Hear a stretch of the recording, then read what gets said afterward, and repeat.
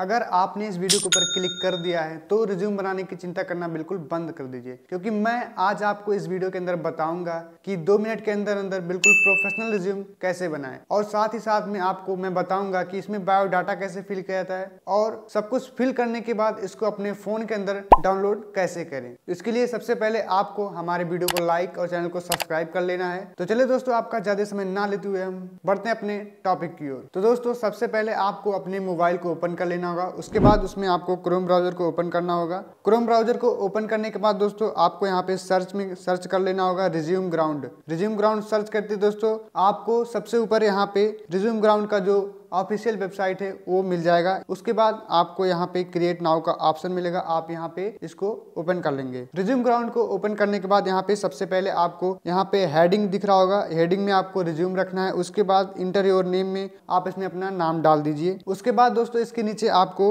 यहाँ पे house number दिख रहा होगा। आपको यहाँ पे आपका जो भी हाउस नंबर उसको आप डाल सकते हैं। उसके बाद दोस्तों, इसके नीचे आपको यहाँ पे लैंडमार्क नियर बाई या फिर गली नंबर आपका जो भी इसमें आपको पता हो या फिर लैंडमार्क पता हो वो डाल दीजिए। नियर बाई आपके जो कुछ भी हो, जैसे कोई हॉस्पिटल हो बड़ा सा, या कोई सोसाइटी हो, उसको आप यहाँ पे डाल दीजिए। यहाँ पे गली नंबर हो, उसको भी आप यहाँ पे फिल कर सकते हैं। इसको फिल करने के बाद दोस्तों एरिया या फिर लोकेशन एरिया आपका जो भी हो, डाल दीजिए। यहाँ पे आपको यहाँ पे जो भी मेन लोकेशन हो, उसको आप यहाँ पे डाल सकते हैं। उसके बाद आपका आता है स्टेट या फिर सिटी यहाँ पे आप अपने सिटी का नाम डाल दीजिए। उसके बाद दोस्तों, मैं यहाँ पे सिटी का नाम डाल देता हूँ। उसके बाद यहाँ पे नीचे आपको पिन कोड डाल देना है। इसके नीचे आपको अपना मोबाइल नंबर डाल देना दोस्तों। मोबाइल नंबर डालने के बाद अब दोस्तों, यहाँ पे आपका जो भी प्रोफ़ाइल हो, जैसे वेब डिज़ाइनर कंप्यूटर ऑपरेटर या फिर जो भी हो, आप यहाँ पे डाल सकते हैं। इसके नीचे आपको दोस्तों, आपको यहाँ पे अकेडमिक क्वालिफिकेशन दिख रहा होगा। जो भी आपका अकेडमिक क्वालिफिकेशन है टेंथ या फिर ट्वेल्थ आप यहाँ पे उसको डाल के उसके बाद, अब दोस्तों, यहाँ तक हो गया। इसके बाद अगर आपको इसमें और कुछ भी एक्स्ट्रा लिखना है और कुछ भी इसमें ऐड करना है तो आप यहाँ पे ऐड रो के ऑप्शन पे क्लिक करिए। उसके बाद